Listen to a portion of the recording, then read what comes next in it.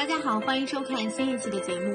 中国如今在各个方面都十分的厉害，因此创造了那么多的奇迹，也是习以为常的事情。但这次中国基建再次火起来了，并且用时不到一天的时间就给高铁搬了新家。美国的网友看到后都直接惊呆了。我国的基建部分已经是十分的厉害了，看着我国建立的一个又一个的奇迹就知道了。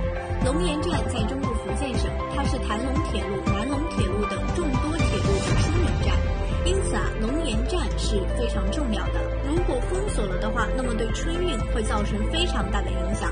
所以这次车站的改造时间只有五百一十分钟，也就是八个半小时。然后经过仔细研究之后，工程师最终采用了南进南出的方案。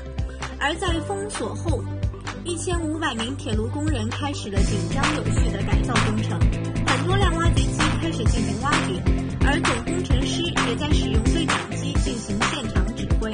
随后用了九个小时就自己给高铁搬了家，这让在外面等的乘客都震惊了。本期就到这儿，期待你的留言和评论哦。